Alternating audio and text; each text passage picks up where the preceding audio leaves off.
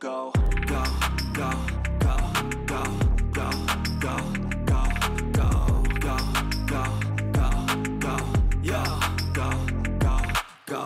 Hustle hard, hustle every single day. I'll be making moves till I'm buried On first down, Carr. They'll get this out to Kamara. And he'll go down inside the 45. Carr to throw on third and one. Drops this off to Kamara out of the backfield. And down to the 20 he'll go before heading out of bounds. Now Carr. This one taken in by Olave. And the Saints are going to have a first and goal. They nearly had the touchdown, but he's going to be marked out of bounds just shy of the pylon. Carr going to throw. Touchdown, Saints. Alvin Kamara. He scored on the ground and through the air.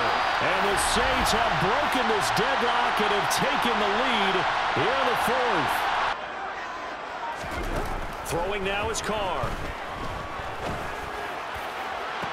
And he'll take it into the end zone for the Saints touchdown.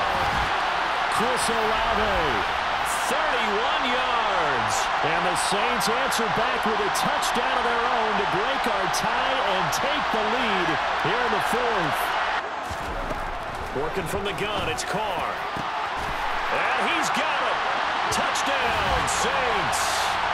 Making four touchdown passes now for Derek Carr. And the Saints have opened up a two-touchdown lead here in this fourth quarter. Carr to throw for it on fourth down. Got an open man. It's Olave. And he is into the end zone. Touchdown, New Orleans. Chris Olave. His second touchdown of the night. And the Saints have put this one to bed here in the fourth quarter. But not much defensive resistance on that drive. And really, Charles, the way this like everything that they dialed up worked. Yeah, certainly was fun to watch from our perspective. I'd like to be those defensive coaches, though. That wasn't a blast for them at all. And let's face it, they all game plan, they all scout, they all think they're prepared, but executing and stopping teams